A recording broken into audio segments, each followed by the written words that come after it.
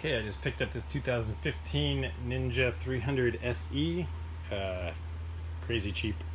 I don't want to tell you how cheap or you'll, you'll be upset at me. But uh, it only has 700 miles on it. It's been down several times. As you can see, that uh, rear brake is all cracked off and jacked. Uh, but we're going to do an oil change today. Uh, this like super cloudy and sketchy.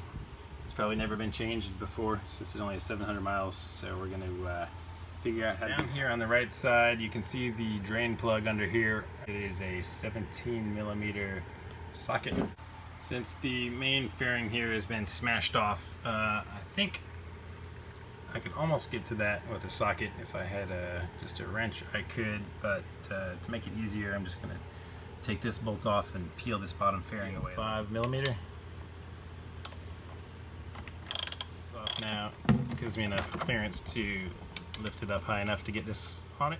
All right, after we break it loose, we can just unscrew it by hand. Make sure, of course, you have a drain pan underneath to catch it. Holding the fairing up with my arm and let it go. Ooh, that is gray. Nasty. Okay, if we come around more to the front of the bike, you can see the K&N air filter here. It conveniently has uh, also 17 millimeter uh, hex head on the top of it so you can grab that with the socket to get it off easily.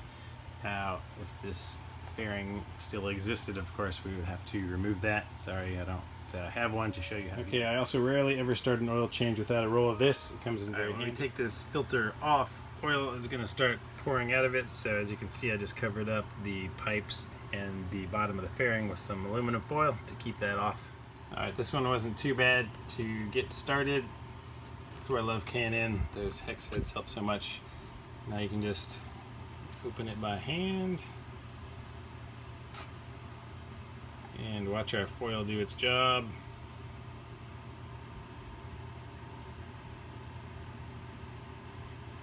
A bit's gonna leak out, then just take this thing all the way off and dump the rest out.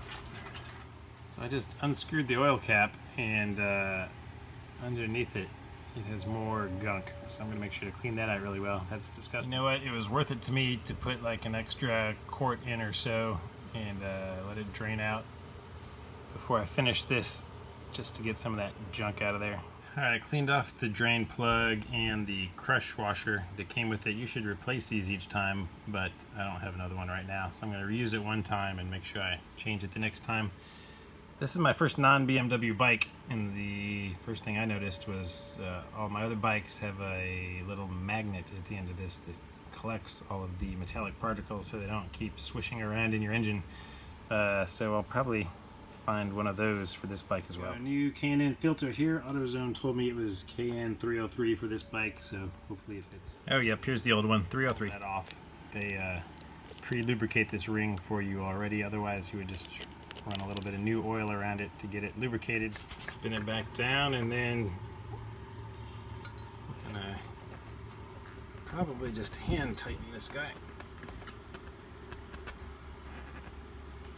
yeah, we might give it a little bit of pressure with uh, just a, just a smidge. You don't need to make it too tight or just makes it harder for you to get it off later.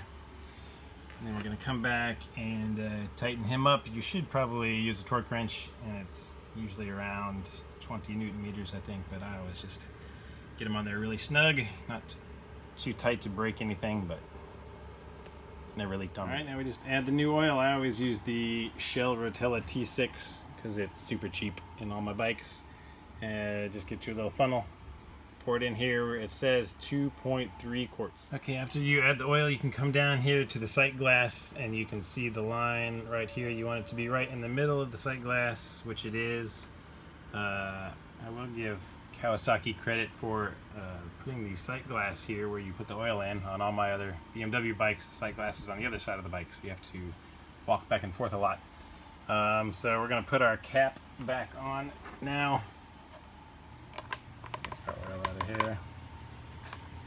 And uh, we're gonna start the bike and run it for a minute because the oil there's no oil all the way through the filter yet. So once it warms up, the oil will go through the filter and then we can recheck our sight glass, top it off if needed.